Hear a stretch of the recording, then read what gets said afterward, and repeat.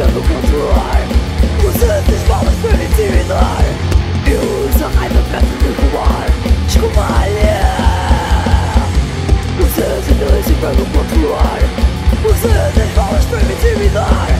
Eu uso a raiva pra